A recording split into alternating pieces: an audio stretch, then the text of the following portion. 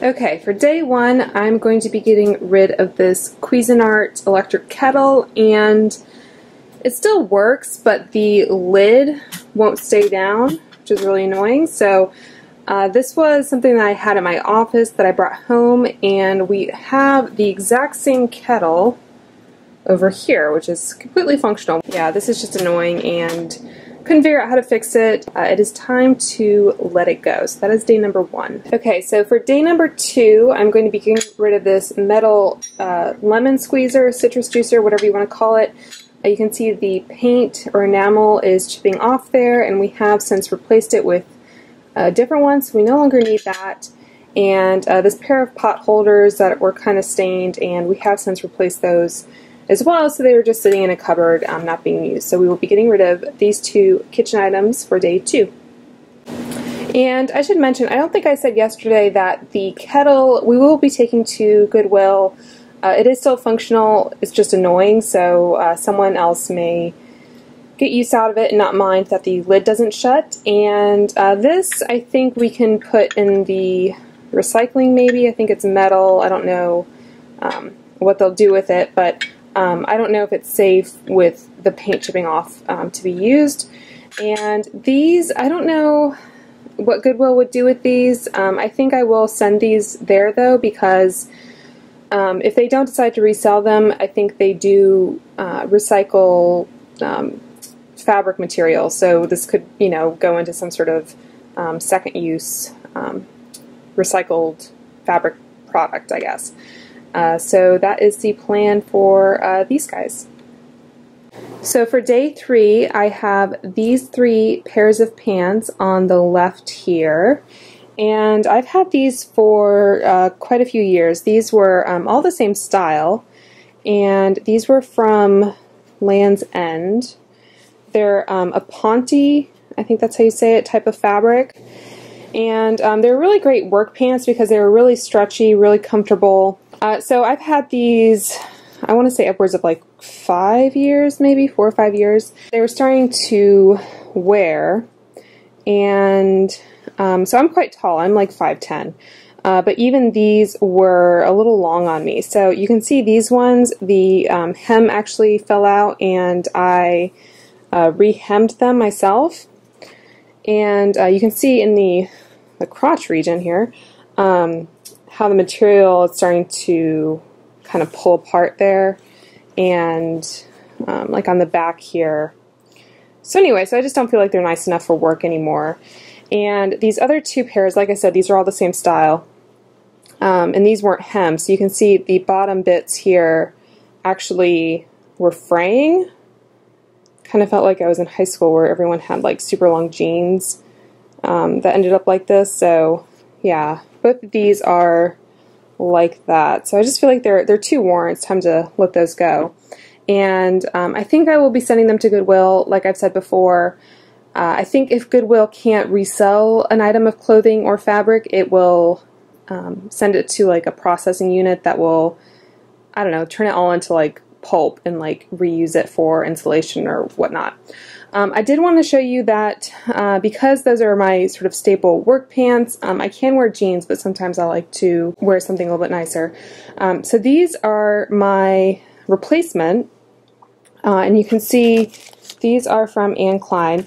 Uh, I just purchased two of these um, from Nordstrom, so I think I'm going to go from three pairs to two pairs. So at least I'm downsizing somewhat, even though these are kind of staples. I feel like even if you have a capsule wardrobe, a good pair or two of black pants is um, is a good thing to have on hand. Uh, so it's kind of like one in a spare. So these do say dry clean, unfortunately, and I posted these on my Instagram. And the really great thing about these, um, you can see here, so that's my size. Um, and I do feel like they're true to size. They're still very comfortable. They're still that like Ponte stretchy material. Um, but these retail, I got these at Nordstrom, and they retail for $89, but I think I got both pairs for $35 each. So $70 for two pairs of work pants I think is a great deal. I think that's like a 60% savings maybe. So I don't know if they're still on sale, but uh, I've purchased these at two different points uh, they said that they were price matched. So, so if you are interested in these, I will link to them below. And if they aren't on sale when you see this video and you are interested in them, um, just I don't know, do like a uh, a shopping alert or whatever app you use to um, get notified when they do go on sale. Because I think for thirty five dollars, um, these are a really great pair. And uh, like I said, they are dry clean, but since I bought a second pair, I think I'm going to try to wash these on cold in the gentle cycle, uh, wash them inside out uh, to uh, see if I can wash them at home because dry cleaning is just really a pain and it gets expensive. So, so that is day three. I'm getting rid of those three pairs of pants, even though I am replacing them. I think this is a staple that I should have in my wardrobe. Okay, so for day four, I'm getting rid of four travel toiletries. I guess you could maybe count this as one if you were so inclined, but I'm going to count it as two different ones.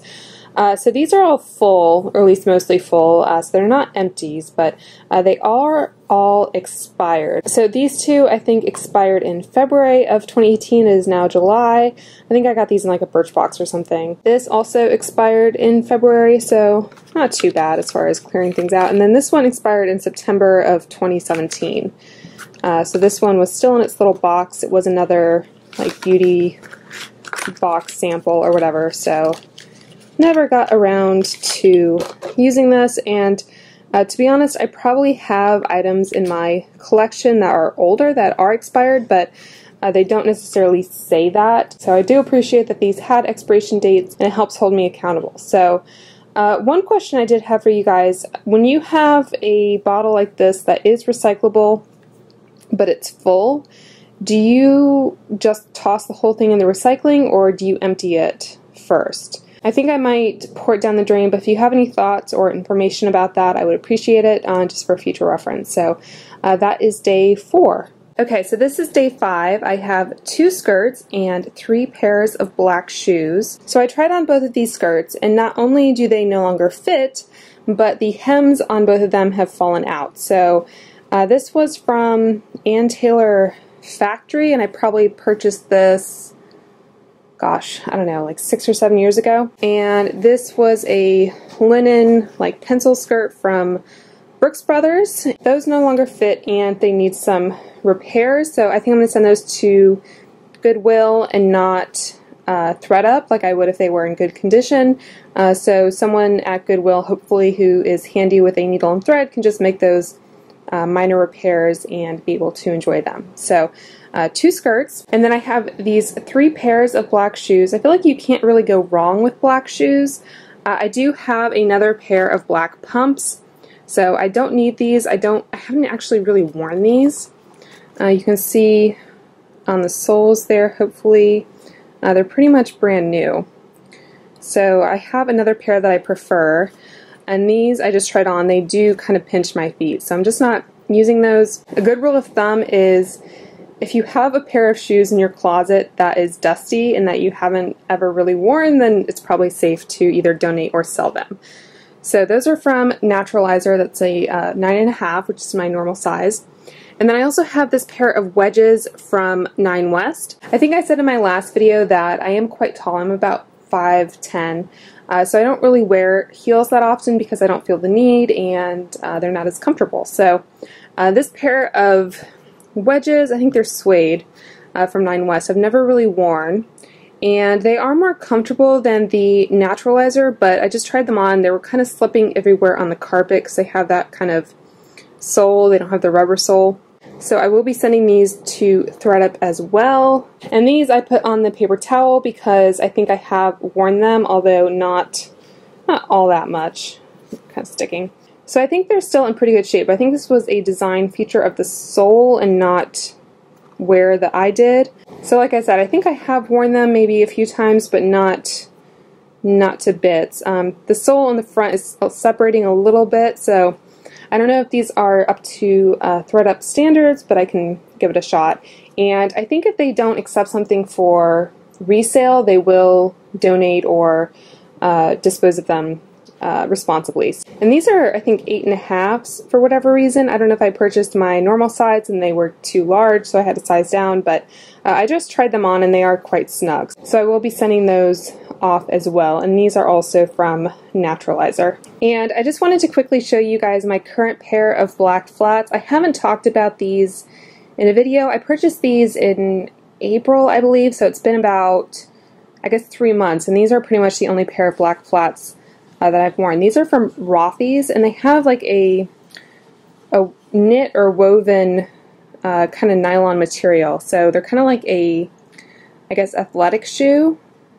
And the really great things about these, not only are they super comfortable, uh, but you can actually machine wash these. So I've washed them a few times and they've held up uh, pretty well. But yeah, these are these are so great. They're very flat, very comfortable to walk in, and I think I can give you guys a referral code that would get you $20 off. So uh, check in the description box if you are interested in these. But uh, yeah, I highly recommend them. I think they're about give or take $100 depending on if you use a code or not. So uh, I do think these are worth the investment. They're not leather, so uh, they aren't as formal perhaps, but I wear these with um, dark jeans to work all the time. So uh, really do uh, recommend these.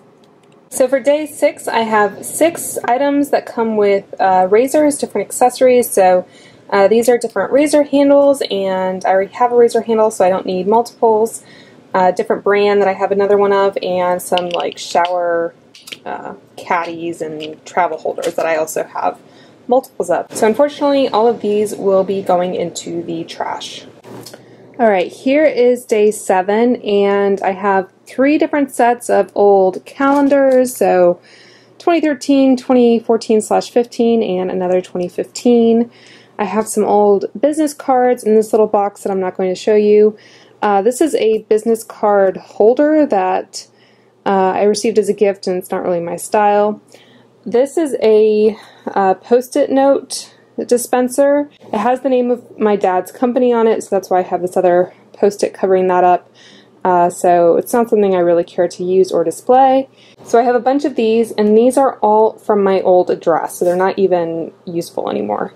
So that is day seven. So for day eight, I have these eight sequined hearts that are Valentine's Day decorations, and I don't know where I got these, probably either at Michael's or Pier 1 they just aren't my taste. I'm going for a little bit more sophisticated, a little bit less kind of sequins and glitters. So I will be donating these to Goodwill. So for day nine, I have all of this Valentine's Day decor.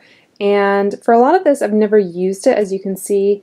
Uh, most of this is either from the Target Dollar Spot, Michael's, or Pier 1. So as I said yesterday, my style or preference has changed a little bit. So I'm trying to get away from the more glittery and sequin type decor. And uh, to be honest, the Target Dollar Spot is not always like the best quality anyway. So uh, all of these are like glitter signs. You can see these still have the price tag on, so I've never even uh, displayed these. Uh, so I'll be sending those to Goodwill and also have this packet of foam stickers, a couple little candle holders from the Dollar Spot, uh, some felt uh, garland, and this uh, foam kit. I think this was from Michael, so I've um, never used it, so I thought I can donate that, and hopefully um, some kid can maybe do it with their parent, and it'll be a really nice, fun activity for them. So uh, that is day nine. Okay, so for day 10, I have a bunch of empty boxes that I've been holding on to for whatever reason. So an empty plastic tub, that might have been an ice cream container at some point, I don't know. Um, some Godiva boxes, that's a Godiva tin. There's this bed skirt wrapper container, whatever you want to call it. And these plastic zippered pouches that hold bedding. Uh, they can be reused, and I do like to reuse those if they're larger, but this size I just don't know what I would be able to use it for because it's on the small side, so I'm going to be getting rid of that. Uh, another chocolate box. This was a candle container that I held on to just because I thought the uh, exterior decoration was pretty. I have, this was, I think, a Steam Link box that I held on to, and a box that held my husband's cologne, another little tin here that held mascaras, and finally another Godiva box. So that is 10 items that I will be recycling. So for day 11, I have a variety of different uh, scrapbooking paper, stamps, and washi tape. And I will be donating these to a local teacher, so hopefully she and her colleagues uh, can get good use out of these. So uh, washi tape, kids can use this for crafts. This is a stamp set, which I never opened. And uh, like I said, the scrapbooking papers. This one's still in the plastic, and this one uh, has some glitter papers and stuff in there. So that is day 11. All right, so day 12, I have 12 empties, and if you don't normally watch beauty videos, you may not be familiar with what sort of an empty is, but uh, basically these are items that normal people would put in the recycling right away when they're done with them, but beauty YouTubers feel the need to hold on to them until they film a video. So uh, I am counting this as a decluttering, even though uh, some people would just consider this trash or recycling uh, material. So uh, just to quickly go over these, uh, these are mostly items that I've talked about in either previous empties or hauls or that sort of thing. So uh, some pretty typical products for me. So I have two packs of the Shiseido cottons that I went through. So those are my all-time favorite cotton pads for removing eye makeup and applying toner or whatever, that sort of thing. Uh, I have a empty pack of the Kirkland Daily Facial Towelettes uh, makeup remover wipes, and I just use these to remove either swatches or like if I put foundation onto my hand uh, before applying it, that sort of thing. So I don't use these to remove makeup on my face, but I do use these uh, to remove makeup on my hand. So have those. A couple deluxe samples of the Ultra Repair Cream. I have a full size now that I picked up in a QVC set. So uh, this is really good if you have eczema. I use it as like a body moisturizer. I don't like it as much on my face. I feel it's a little bit too thick, but I do like to use it as a body moisturizer. Couple bottles of the Sea Booth Clean Vanilla Bean Body Wash. It's the English version there. Uh, so this is a nice sulfate-free body wash. Again, if you have eczema, it's good to have a sulfate-free body wash. And it lathers really well. It smells, like I said, it's clean vanilla. So my husband will use this as well. It's not too girly or anything. So uh, gone through lots of those.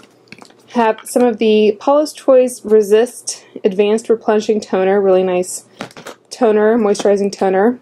And the First Aid Beauty Ultra Repair Hydrating Serum. Another product I've been through many, many a tube of. The Beauty Blender Solid Cleanser. This is my favorite cleanser for my makeup brushes. And then I have a sort of deluxe size of the Fresh Soy Face Cleanser. Really nice cleanser. Uh, works well with like the Clarisonic and it's not overly stripping or anything like that. So nice cleanser. And then finally a deluxe size of the DevaCurl Melt into Moisture conditioning mask, Matcha Butter conditioning mask. And like I've showed you guys in hauls and empties and that sort of thing, uh, it smells like pistachios and it's green. So that's kind of the distinguishing factor of this. But it's a really nice uh, silicone-free hair mask. So highly recommend this as well. So those are 12 empties that I will be putting right into the recycling bin. So that is day 12. So this is day 13 and here I have 13 different notepads and post-its, mostly from the Target dollar spot. You can see uh, this one here was actually from the brand Post-it, but I haven't used these. I don't have any immediate plans to. A lot of these are like holiday themed, so I'm going to be donating these to a local teacher and uh, she can share them with her colleagues. So that is day 13.